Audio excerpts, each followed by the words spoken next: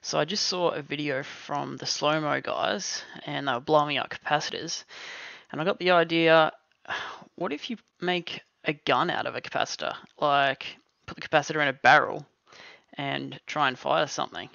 So I thought, well, I've made a Nerf gun before, so kind of had that idea reasonably fresh in my mind.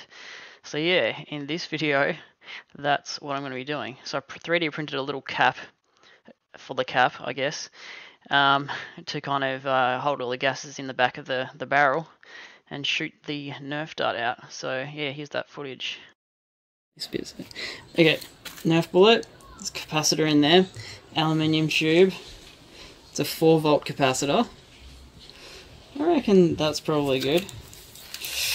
Okay, we'll see what happens. I'm scared. Actually, nothing. I'm putting 15 volts into it. Why is nothing happening? It needs more voltage. Okay, stop. That's got to go in there. Okay, this is about 30 volts, I think. 30. Yep. Okay, that worked. Did you get it on camera? Yes. that was kind of cool. It's like smoking.